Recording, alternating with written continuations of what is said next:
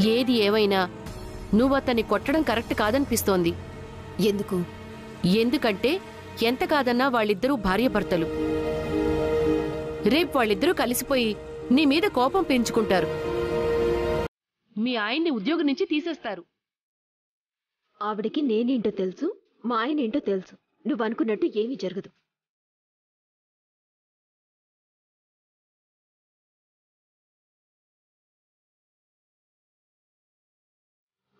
బాబు ఆ షాప్ దగ్గర ఆపు. అలాగే మేడం.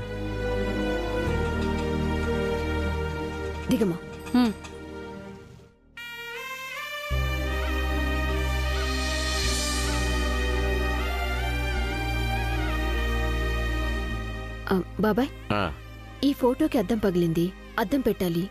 ఫ్రేమ్ బాగుంటే చూడండి. లేదంటే ఫ్రేమ్ కూడా మార్చాలి. ఎంతవుతుంది? అద్దం వరకు అయితే రెండు వందలమ్మా. ఫ్రేమ్తో పాటు అయితే నాలుగు వందలు. అన్ని సరిసంఖ్యలు చెప్తున్నావు. బేస్ సంఖ్యలు చెప్పవా?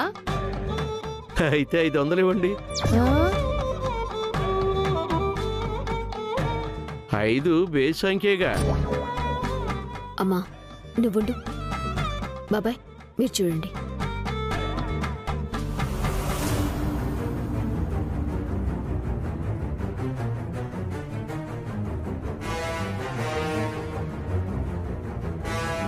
అద్దం పగలడమే కాదమ్మా.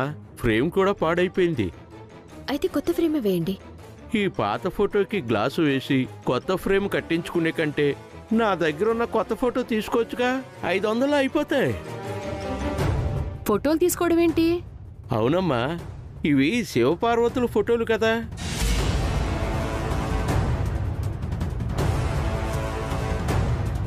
ఏంటి అలా చూస్తున్నారు? ఇటు చూడండి. శివపార్వతుల ఫోటోలే కదా?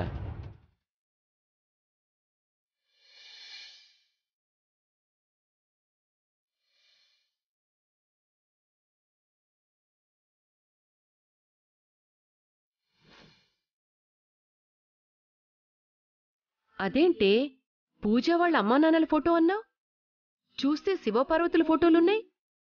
పూజకి భక్తి ఎక్కువ కదమ్మా. చిన్నప్పుడే వాళ్ళ అమ్మా నాన్నలు చనిపోయారు. అప్పటినుంచి వీళ్ళని అమ్మా నాన్నలా ఫీల్ అవుతున్నట్టుంది.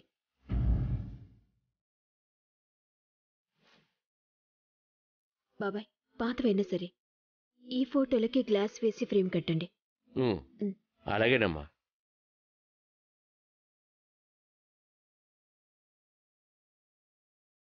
ఇదిగోండి అడ్వాన్స్. సర్లే నేను ఇట్నుంచి ఇటు ఇంటికి వెళ్ళిపోతాను నువ్వు వెళ్తావా? సరేమ్మా. హలో. క్రాంతక్క నేను బ్లేడు. బ్లేడు? ఏమైపోయావురా? ఎక్కడున్నావు? నీకు దూరమైన బాధలో ఉన్నానక్క అక్క. నీకు ఒక విషయం చెప్పాలి. ఇక్కడ నాకొక ఫోటో. ఒరే దరిద్రుడా. ఎందుకురా మళ్ళీ దానికి ఫోన్ చేస్తున్నావు? పెద్దమ్మా! నోర్మోయ్. అమ్మేంట్రా అమ్మా? ఇంకెప్పుడైనా దీనికి ఫోన్ చేసావంటే మర్యాద దక్కదు. పెట్టే ఫోను. పెద్దమ్మా! పెద్ద పె- పెద్దమ్మా! అమ్మా పాపం వాడెందుకు చేశాడు? తాగుబోతే అదవా ఏ డబ్బులు అవసరమయ్యో ఫోన్ చేసి ఉంటాడే అయినా వాడితో నీకేంటే? మీ అక్క పెళ్ళాపి తన జీవితాన్ని నాశనం చేయాలని చూశాడు. కన్న బిడ్డలా చూసుకుంటే మనకే వెన్నుపోటు పొడవాలని చూశాడు. అలాంటి వాళ్ళకి ఎంత దూరంగా ఉంటే అంత మంచిది. ఇప్పుడే కాదు ఇంకెప్పుడు వాడు ఫోన్ చేసినా లిఫ్ట్ చేయకు. సరేనా? సర్లేమ్మా. సరే నేను వెళ్తాను.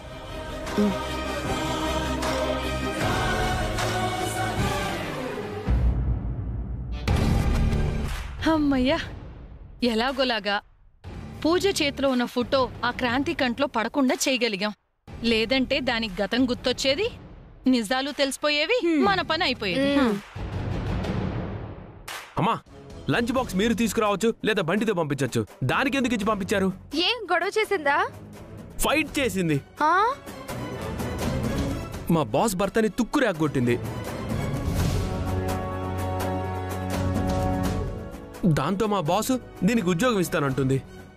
ఆవిడిస్తానంటే నేను చేస్తానని ఒప్పుకున్నానే ఏంటి? ఇదిగో మాటకు మాట సమాధానం చెప్పావంటే నాకు నచ్చదు.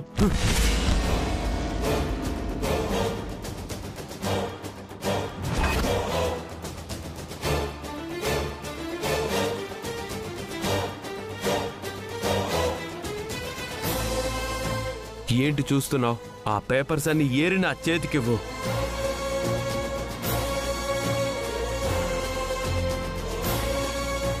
ఏంటి అలా చూస్తున్నావు? చెప్తున్నాడుగా. చెయ్యి. చూడు మా వాడసలే కోపంతో కనపడుతున్నాడు. నువ్వు చెప్పినట్టు వినకపోతే కొట్టినా కొడతాడు.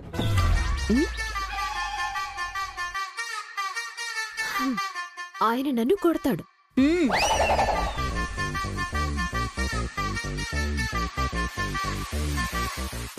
ఇదిగో నా సహనాన్ని పరీక్షించొద్దు. నాకు ఆవేశం వచ్చిందంటే ఆగలేను. ఎవ్వరూ నన్ను ఆపలేరు. తీ పేపర్లు.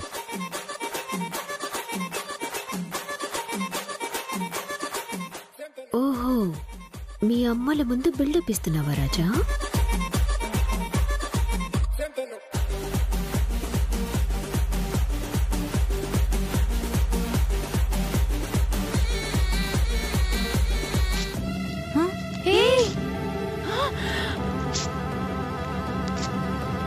ఏ, చేస్తున్నావు? పేపర్స్ ఎడుతున్నానండి ఏరడం కాదు వాటిని నాశనం చేస్తున్నావు. ఇవి చాలా ఇంపార్టెంట్ పేపర్స్ తెలుసా? తీస్తున్నానండి. అరే. హే అలా నలిపేస్తే ఎందుకన్నా పనికొస్తాయా? పేపర్స్ ఎలా ఏరాలో కూడా తెలీదా నీకు? దానికేం తెలుస్తుంది లేరా? నిజంగా తెలియదు అత్తయ్య మీకు తెలుసా? మాకు తెలుసా? ఏం మాట్లాడుతున్నావు?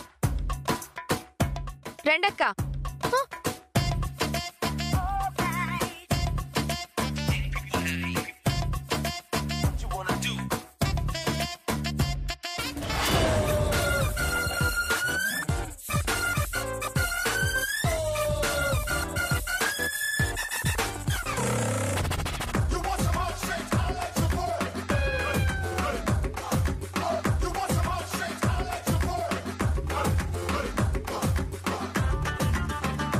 అదిగో అలా ఏరాలి పేపర్స్.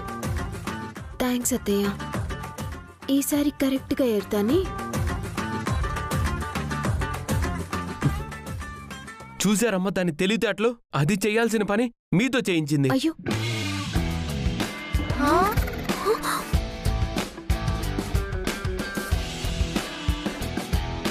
క్రాంతి? అమ్మా. ఏంటి? మళ్ళీ దిగబడ్డావు? మీతో మాట్లాడాలని వచ్చానమ్మా. ఏం మాట్లాడాలి? ఏముందే?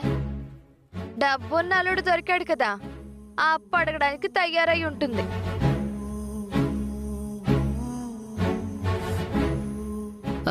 నేను వచ్చింది అప్పు కోసం కాదమ్మా. వీళ్ళ పెళ్ళైన తరువాత అల్లుడు గారు మా ఇంటికి రాలేదు కదా.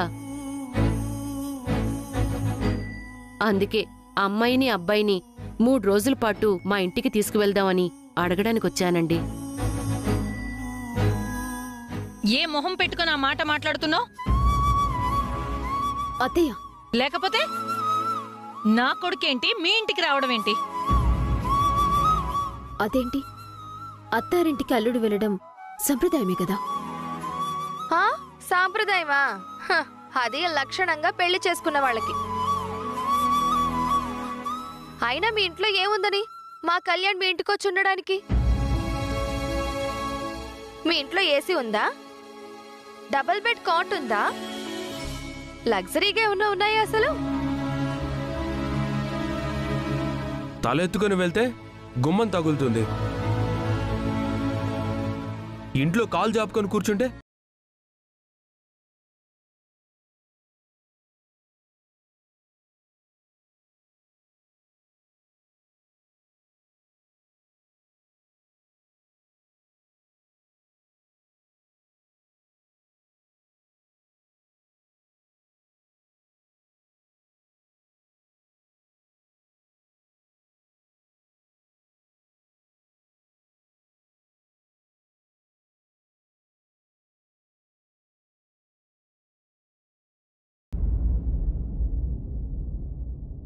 ఇంతకీ మీ ఇంటికి వస్తే మా కళ్యాణ్కి ఏం కానుకిస్తారు?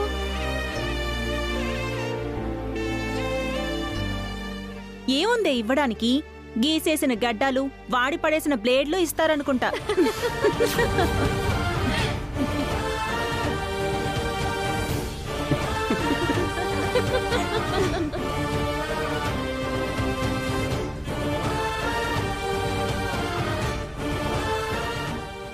అంతేనా? లేకపోతే షాప్లో ఉన్న వాళ్ళందరినీ తీసేసి నాతో గడ్డలకి ఇస్తారా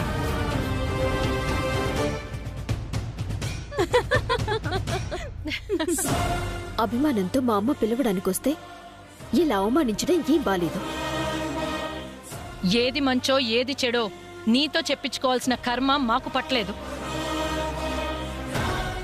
మా వాడు మీ ఇంటికి రాడు. నువ్వెప్పుడు మా ఇంటి గడప తొక్కకు. పో ఇక్కడి నుంచి. అల్లుడు గారిని పిలవడానికి వచ్చిందంట అల్లుడు గారిని.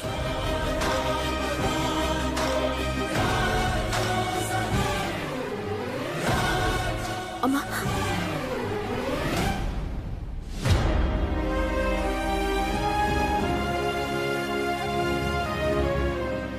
మీ ఆవిడికి కోపం వచ్చినట్టుందిరా. సీరియస్గా చూసి మరీ వెళ్ళిపోతోంది. వెళ్ళి చూసుకో.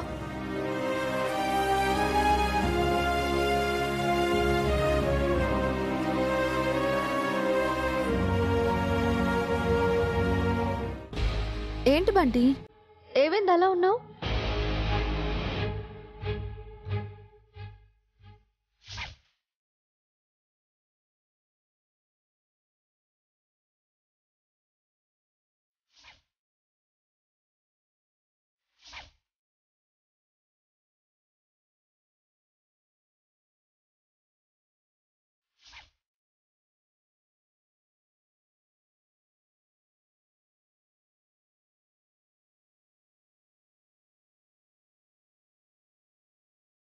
అవునక్క నాకు తెలియక అడుగుతాను మూడు రోజులే కదా తను వాళ్ళ ఇంటికి తీసుకెళ్తానంటుంది.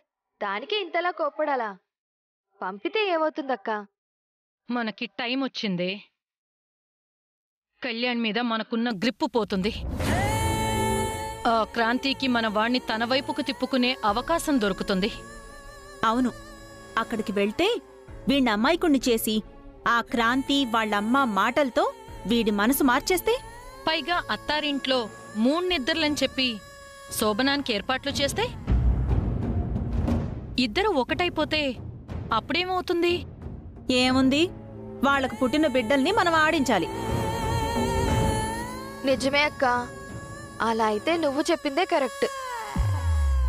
కళ్యాణ్ని ఆ క్రాంతి ఇంటికి పంపనే పంపకూడదు. ఎందుకు పంపకూడదు?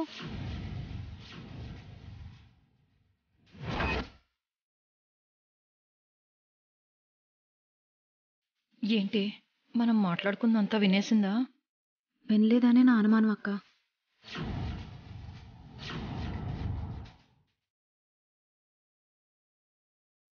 పెళ్ళైన తర్వాత అల్లుడు అత్తారింటికి వెళ్ళడం సాంప్రదాయమే కదా? మీ పెళ్ళైనప్పుడు మావేళ్ళు కూడా మన ఇంటికి రాలేదా? మనింటికి వాళ్ళింటికి పోలికేంటే? ఆకాశానికి పాతాళానికి ఉన్నంత తేడా ఉంది. అక్కడ సరైన సౌకర్యాలుండవే. ఏసీలుండవు. పైనున్న ఫ్యాన్లు తిరుగుతాయో లేదో కూడా తెలీదు. ఆ ఇంట్లో వాడు ఉండలేడు పూజ. పైగా చూస్తే బస్తీ. దోమలు కుట్టడాలు అదంతా రచ్చరచ్చగా ఉంటుంది. అలాంటి వాతావరణంలో వాడు ఎప్పుడైనా ఉన్నాడా? వెళ్తే వాడు అక్కడ ఉండగలడా నాకు మీరు చెప్పే రీజన్స్ ఏవి కరెక్ట్గా అనిపించట్లేదు అత్తయ్య. సౌకర్యాలు లేవని బావని పంపను అని అనడం ఏం పద్ధతిగా లేదు. ఏ? వాళ్ళకి మాత్రం కూతురింటికి అల్లుడు రావాలని ఉండదా? అల్లుణ్ణి బాగా చూసుకోవాలని ముద్దు ముచ్చట్లు తీర్చుకోవాలని ఉండదా?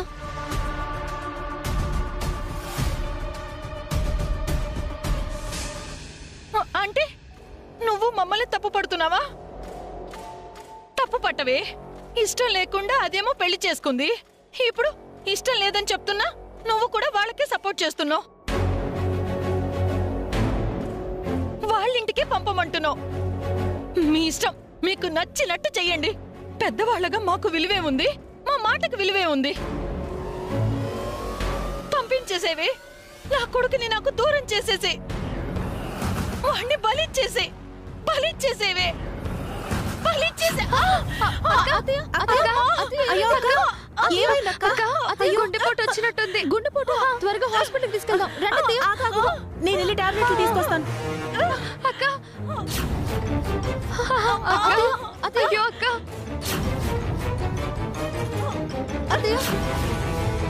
అత్తయ్య! అ- అత్తయ్య! అక్క అక్క టాబ్లెట్ ఇవ్వు టాబ్లెట్ వేసుకోక్క అక్క. ఇదిగో. మంచినీళ్ళు తాగు తాగక్క.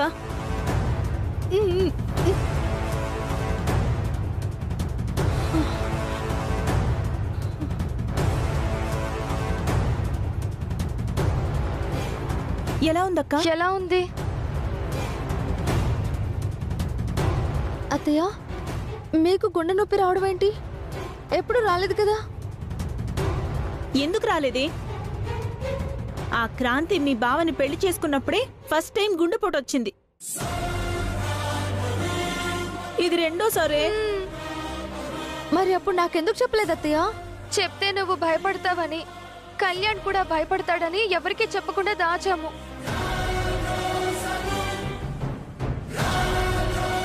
పూజ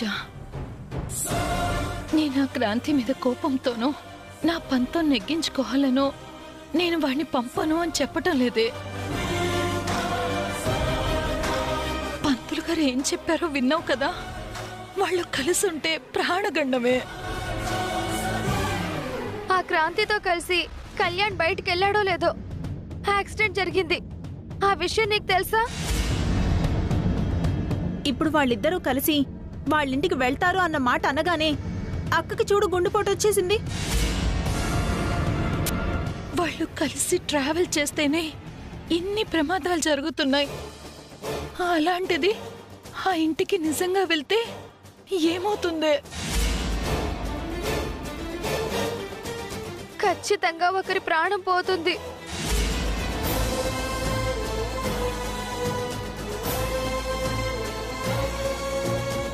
ఇప్పుడు చెప్పవే పూజ మీ బావ క్రాంతి కలిసి ఉండాలంటావా? నా ప్రాణం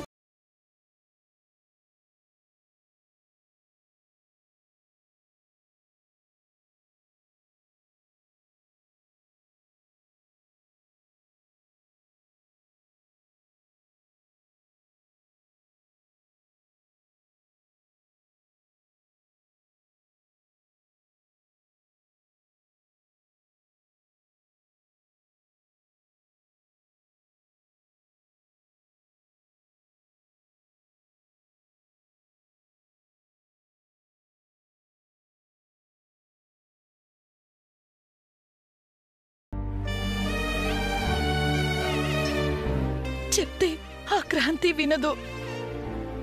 మేమే కావాలని వాళ్ళని విడదీయాలని అలా మాట్లాడుతున్నామని అనుకుంటుంది.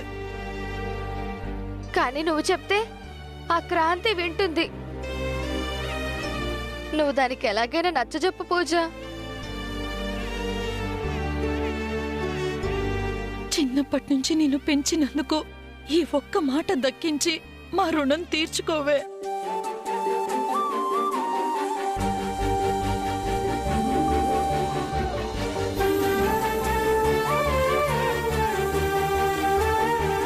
సరే అత్తయ్య.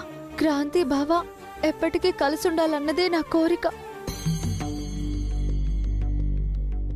కానీ పరిస్థితులు ఇలా ఉన్నప్పుడు ప్రాణాల మీదకి వస్తుందన్నప్పుడు నేను మాత్రం కలిసి ఉండేలా ఎలా చేస్తాను?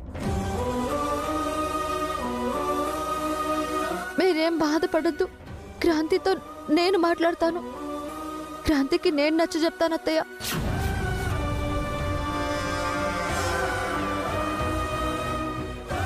పూజ నాకు గుండె నొప్పి వచ్చిందన్న విషయం మీ బావకి చెప్పొద్దే? సరే అత్తయ్య. వెళ్ళవే. వెళ్ళి క్రాంతికి నచ్చ చెప్పు. వెళ్ళు.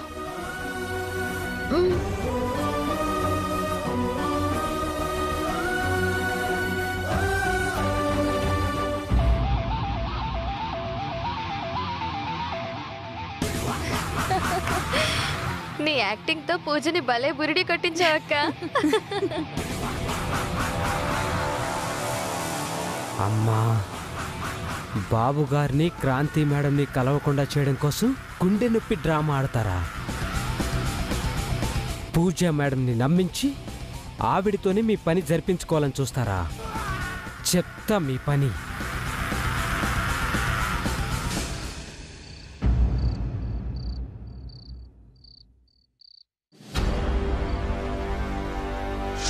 చూడు నీ కూతురు ఈ ఇంటికి కోడలైనంత మాత్రాన నా కొడుకు నీ ఇంటి అల్లుడు కాడు. నా కొడుకు మీ ఇంటికి రాడు. ఇంతకీ మీ ఇంటికి వస్తే మా కళ్యాణ్కి ఏం కానుకిస్తారు? గీసేసిన గడ్డాలు వాడి పడేసిన బ్లేడ్లు ఇస్తారనుకుంటా. నువ్వెప్పుడు మా ఇంటి గడప తొక్కకు. పో ఇక్కడి నుంచి.